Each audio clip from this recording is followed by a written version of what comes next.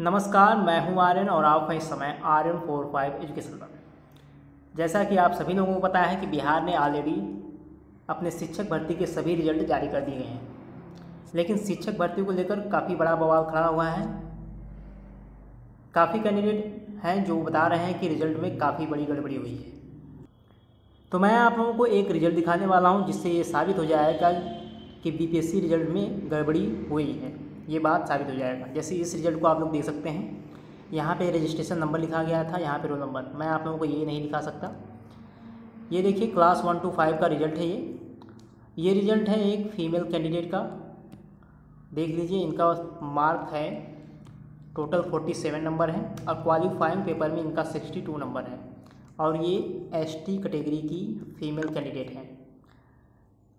और आप लोग जानते हैं, जैसा कि बीपीएससी ने ऑलरेडी कट ऑफ़ भी जारी कर दिया गया है। मैं आप लोगों को कट ऑफ़ दिखा देता हूँ। यहाँ पे देख लीजिए BPSC result cut off one two five देख लीजिए other category E W S E B S B C S C S T तो मैं बात करने वाला हूँ एस टी कैटेगरी की। यहाँ पे छियालीस, उनतालीस क्यों लिखा गया है? पहले नंबर पे मेल कैंडिडेट का कट ऑफ़ मैंने लिखा है और उनतालीस लिखा है, ये फीमेल कैंडिडेट का कट ऑफ़ है। ठीक है?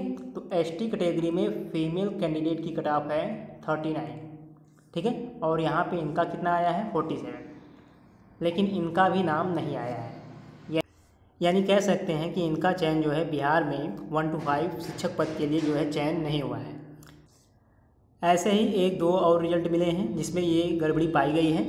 ये तो बस वन टू फाइव की मैं बात कर रहा हूँ लेकिन काफ़ी सारे कैंडिडेट का मानना है कि नौ से दस, ग्यारहवीं, बारहवीं के रिज़ल्ट में भी ये गड़बड़ी पाई गई है।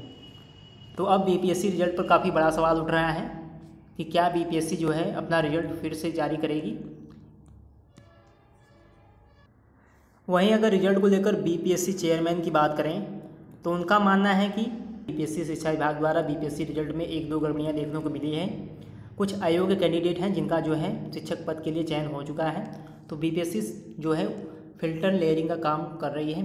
बीपीएससी चेयरमैन ने ऑलरेडी ट्वीट करके जानकारी दी है कि कुछ अयोग्य कैंडिडेट हैं जिनका जो है ऑलरेडी चयन हो चुका है। उन्हें वो बाहर का रास्ता जल्द दिखाएगी और वो अपने रिज़ल्ट में जल्द सुधार करेंगी। और अगर रिज़ल्ट को लेकर बात करें तो ज़्यादा चेंजेस देखने को नहीं मिलेगा।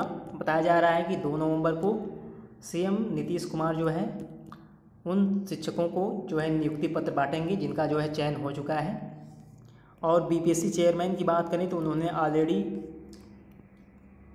उन्होंने ऑलरेडी ये बयान दिया है कि अब शिक्षक भर्ती के रिज़ल्ट को लेकर ज़्यादा चेंजेस जो है देखने को नहीं मिलेगा। केवल कुछ ही रिज़ल्ट हैं जो अयोग्य हैं, उन्हें ही बीपीएससी जो है सुधार करने का प्रयास कर रही है। और उन्होंने बिहार की अगली भर्ती को लेकर बयान दिया है कि बिहार में जल्दी ही आप लोगों को एक लाख दस हज़ार शिक्षकों की भर्ती फिर से देखने को मिलेगी, जिसमें जो है बीएड कैंडिडेट के लिए काफ़ी अच्छा मौका है। ये भर्ती जो है जल्द आने वाली है। नवंबर में ही इसका नोटिफिकेशन जो है रिलीज़ कर दिया जाएगा। तो ये थी बिहार शिक्षक भर्ती के रिज़ल्ट को लेकर कुछ लेटेस्ट अपडेट अगर आप लोगों को जानकारी पसंद आई हो तो वीडियो को लाइक करेगा और चैनल को ज़रूर से सब्सक्राइब करेगा तो मिलेंगे नेक्स्ट वीडियो में कुछ और लेटेस्ट अपडेट के साथ। तक के लिए वीडियो देखने के लिए आपका बहुत बहुत धन्यवाद।